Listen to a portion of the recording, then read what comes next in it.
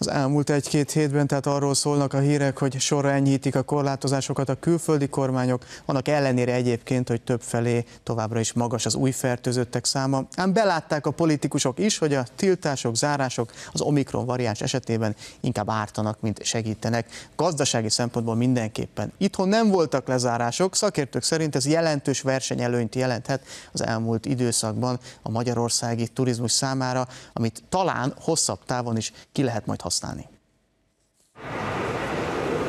Nincs teleutasokkal a Bécsi villamos, és az utcákon is kevesen vannak. A bevásárló turisták hónapok óta elmaradnak Bécsből. Az osztrák közbeszédben a Szabadság napjának kiáltották ki március 5-ét, akkor törlik csak el a korlátozásokat az idegenforgalmi ágazatban, vagyis a szállodák és az éttermek hatalmas veszteséggel kezdték az évet.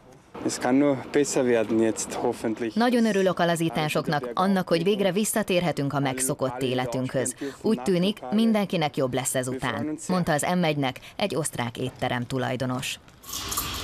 Ez viszont már Budapest, ahol hónapok óta sok a külföldi vendég.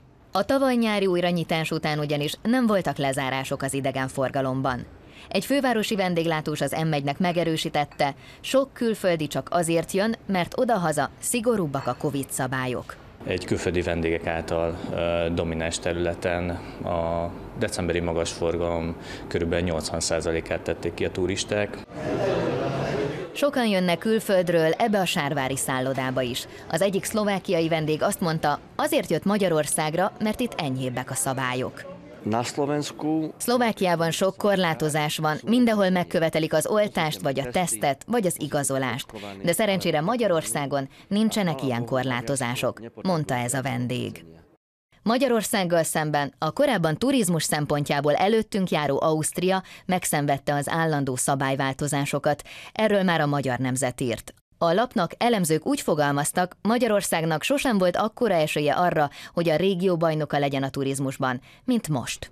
Vagyis a gyakorlatban ez azt jelenti, hogy Magyarország az enyhébb szabályok és a nyitott idegenforgalom miatt kanyarban előzheti korábbi versenytársait a turisztikai szektorban.